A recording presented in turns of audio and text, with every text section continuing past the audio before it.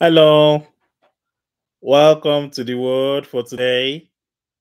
The word for today is fair. Fair. See you tomorrow. Bye. Bye.